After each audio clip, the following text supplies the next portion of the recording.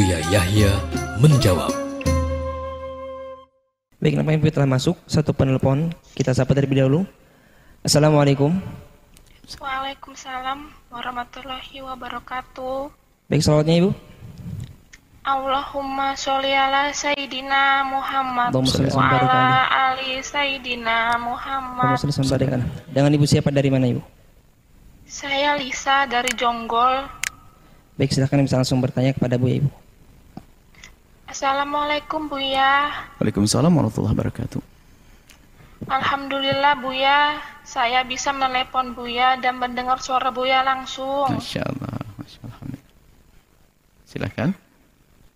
Buya, kemarin saya mendengar ceramah Buya dan hampir sama Buya kasusnya. Tapi saya pengen dengar langsung dari Buya karena saya takut salah ambil kesimpulan.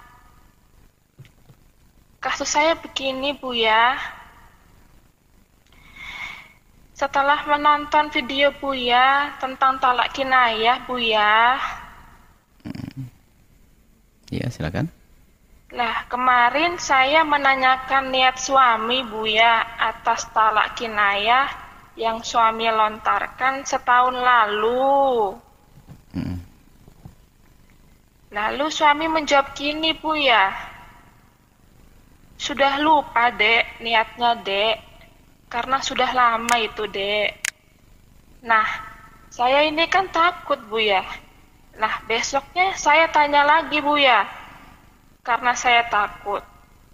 Lah, akhirnya suami saya kesal, Buya. Dan baru kemarin banget, suami saya terlanjur bilang, Buya. Begini kalimatnya, Buya. Ya sudah, Mas jatuhkan talak satu ke kamu. Setelah itu, Buya, suami bilang, Talak ini jatuh berdasarkan talak kinayah yang setahun lalu. Lalu kami udah rujuk, Bu ya. Yang Kap- saya ingin Kapan rujuknya? tanyakan, Bu, Kapan rujuknya? Se- rujuknya setelah suami malamnya ngomong itu, saya Setahun- malamnya setahun yang lalu? rujuk. Setahun yang lalu? Atau baru kemarin? Enggak, eh, baru kemarin, Bu ya.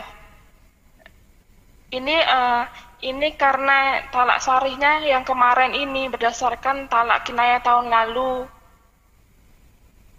Baik. Masya Nah, Allah. yang yang yang saya mau tanyakan Bu ya, Hmm. apakah talak seperti ini tetap jatuh Bu ya? Karena suami itu pun berdasarkan talak kinayah tahun lalu, itu suami bilang saya lupa niatnya benar-benar lupa. Apakah talaknya tidak sah Bu ya? Dan rujuk kami gugur. Saya benar-benar mohon pencerahannya Bu ya. Baik. Allah. Ini ada titipan pertanyaan sedikit aja Bu ya. Sudah panjang mau ditambah boleh? Oh iya Bu. Ayo, cukup? Ke- Oh, eh, ada lagi oh, apa? Apa? Eh, begi- in- ini Bu ya.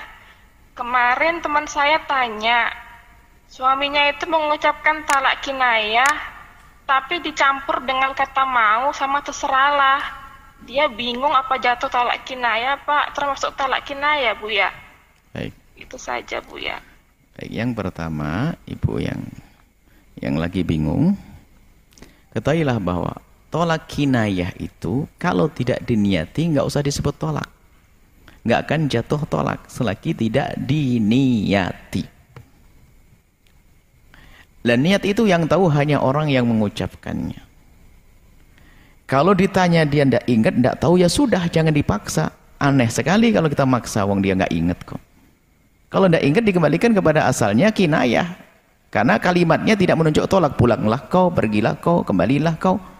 Itu bukan tolak. Maka selagi tidak ingat niatnya berarti tidak ada niatnya. Berarti tidak jatuh cerai. Selesai.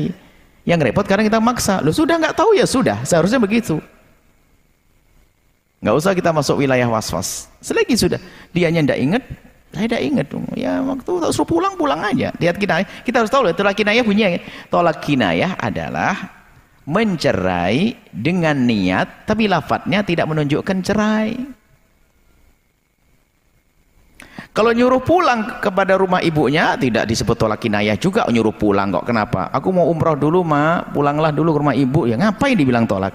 Tolak kinayah itu mencerai dengan kalimat yang tidak cerai tapi maknanya mengarah kepada perpisahan tapi niatnya bercerai. Misalnya pulang kau ke rumah ibumu.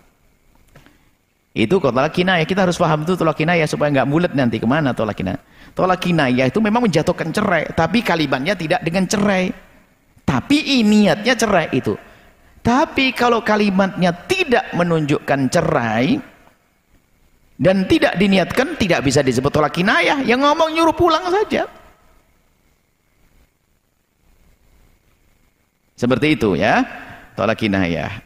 Kemudian yang kedua tadi kalau seorang suami ditanya nggak ingat niatnya di saat dia mengucapkan masalah kalimat kinayah tadi, kalau dia tidak ingat ya sudah jangan dipaksa. Kok repot kita maksa orang? Kan aneh. Akhirnya orang marah diiyai saja. Bingung setelah diiyai. Terus gimana? Ayo. Sudah iya Alhamdulillah. Rasa ragu.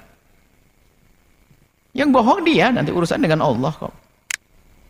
Sebagai seorang istri nggak dosa. Gitu. Baik. Kemudian setelah dia menjatuhkan tolak. Dan jelas kalimat tolaknya. Tapi katanya atas dasar ya. Lah kalau dulu kinayah. Maksudnya diniati ya jatuh cerai yang dulu.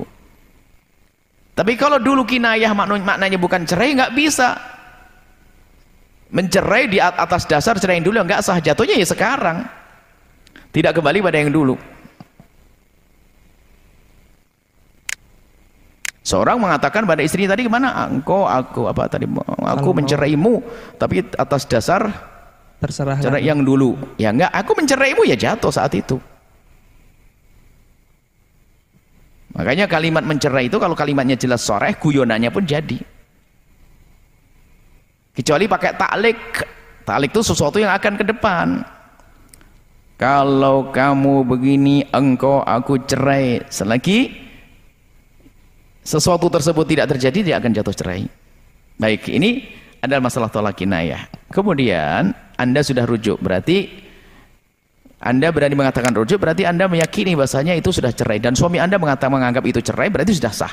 Berarti suami Anda menganggap itu cerai jadi sah cerainya. Buktinya apa? Anda sama suami rujuk tidak akan mengatakan rujuk kecuali setelah meyakini itu cerai apa pun kalimatnya. Sebab kalimatnya mengarah kepada perpisahan. Kemudian suami Anda mengatakan sudah Anda sudah cerai, kemudian setelah itu rujuk sudah selesai. Habis itu hati-hati jangan ngomong-ngomong lagi masalah cerai. Tidak usah ragu lagi, tidak usah bimbang. Berarti Anda sudah rujuk selesai halal dan anda tidak usah kena was-was lagi. Gimana? Sudah tutup. Selesai hari ini bang. Kita buka lembaran baru lagi. Nggak ada cerita-cerita cerai dan dulu. Kemudian pertanyaan dari temannya tadi gimana? Tolak kinaya dicampur dengan kata kalau mau atau terserah. Aduh kata kinaya karena banyak orang cerai sekarang tolak orang pengen nikah ini pengen cerai. Bingung. Ah. Jadi kalau kamu mau. Nah tolak kinayah ini gimana sih? Kalimatnya kayak apa sih? Pulanglah engkau kalau kamu mau. Ya nggak ada urusan dengan cerai Maksudnya gimana tolak kinayah terus dengan kamu mau? Pulanglah kau ke rumah ibumu kalau kamu mau. Pulanglah. Nah, maksudnya maksudnya yaitu, maksudnya mencerai kalau kamu mau. Ya nggak jatuh cerai. Kalau kamu mau ya Ya selalu mengatakan, ya kamu aku kamu cer, cer kamu, kalau kamu mau kamu aku cerai lah nih. Ya ini tergantung lah. Kalaupun dia mau belum tentu belum jatuh cerai karena belum mencerai. Kalau kamu mau aku akan cerai kamu. Belum dicerai. Jadi tidak usah itu dipikirkan hanya yang demikian itu. Kemudian setelah itu nasihat untuk semuanya. Selalu kami nasihat tambah nasihat bahasanya. Tolonglah ya para suami. Jangan gampang mengatakan cerai. Wahai istri jangan mudah minta cerai. Akan tapi jika ada permasalahan diselesaikannya. Perceraian itu adalah operasi terakhir. Solusi terakhir. nggak bisa dipertemukan lagi baru perceraian. Jangan dikit-dikit main cerai. Main cerai, main cerai. Hati-hati. Semoga Allah menjaga rumah tangga semuanya ini. Indah, bahagia dunia akhirat. Allahu a'lam.